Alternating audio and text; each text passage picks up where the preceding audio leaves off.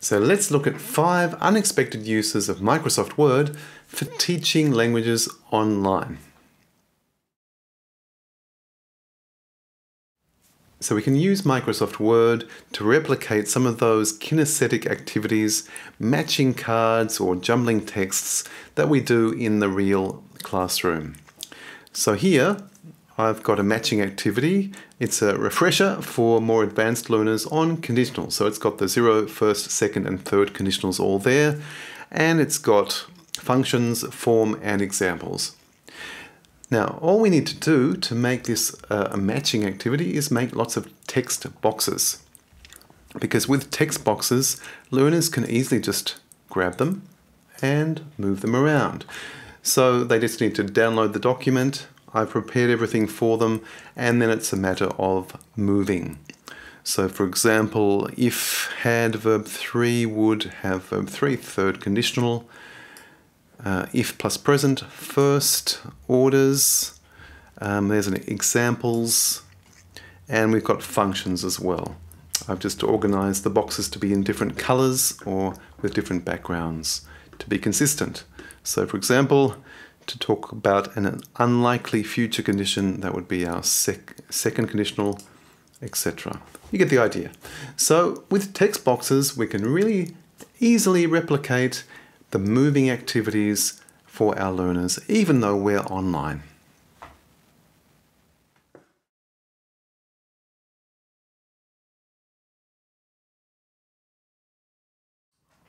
All right, a second example there is jumbled texts. So really good for thinking about text organization. And here I've got two emails that I've jumbled up. And I've separated into paragraphs or different ideas. Um, one email that's more formal and one that's more informal. And all learners have to do is then, again, download and decide, highlight each particular chunk or paragraph, and move it to where they think it should go.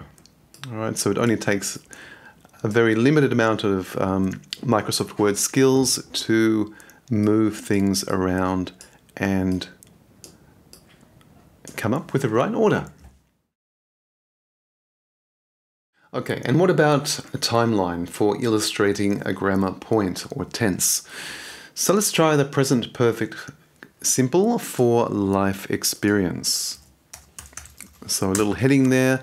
Then we're going to use a mix of drawing tools and text boxes.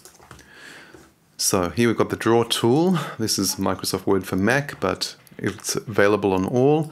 Let's choose this pen, and I think I'll just change it to black.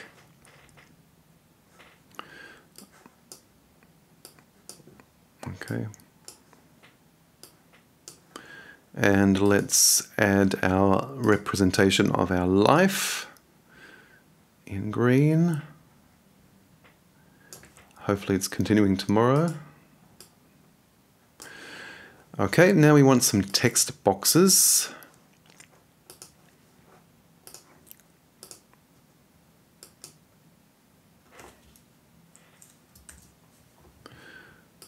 Okay, that needs to be bigger. All right, and my example sentence will have three times, so we'll copy that and paste. And I'll copy that once more so I can write the word now.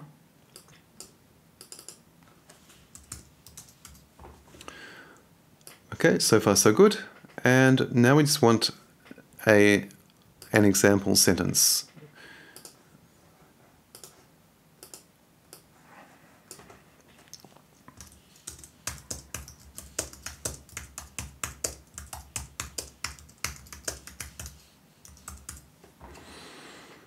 Okay, so here's an example sentence and we'll just make that a bit bigger. Okay, and correspondingly the title then a bit bigger again.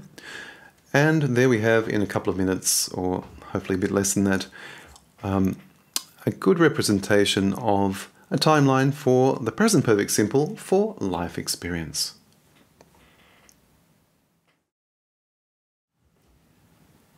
Now, rather than having a physical whiteboard behind me, which I can trip over and might be hard to get in the camera shot, or using the Zoom or Teams chats, which are quite bitty little elements, I prefer to have a dedicated Microsoft Word template for a whiteboard in landscape mode so it fits a screen size.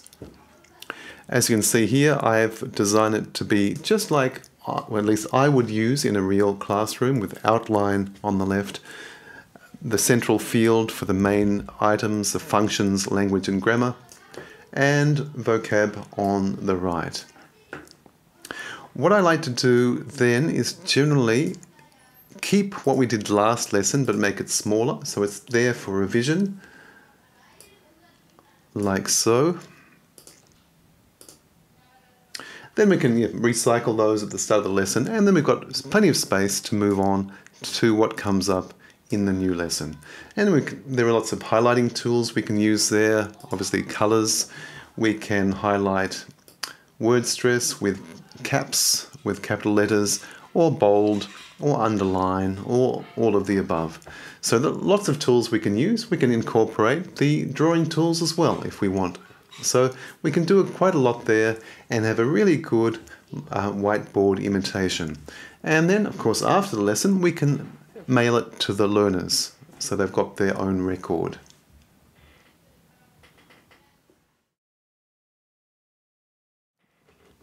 Alright, how about using Microsoft Word for a couple of the good old classroom games like Hangman and Pictionary? I've got my way of setting that up really quickly in break time for learners ready after a break. So I just use underscore, a gap between each. I usually have to highlight and change the font size as well so it's nice and easy to see. And I just usually give seven question marks. That's it. So if they get it wrong, or if they don't choose the right letter, one's off. Of course, we could use the drawing tools as well to do any type of hangman or to do a house or whatever non-violent way of doing it you want to do. But for me, question marks, question marks work. What about Pictionary? Well, here learners will be sharing their own screens, using their own documents. You could potentially give them two or three minutes to prepare a document because maybe they want to use some uh, shape tools as well. So, for example, inserting some shapes or even pictures. But let's say we're just using the drawing tools. Okay, so let's see what I can come up with. Okay, so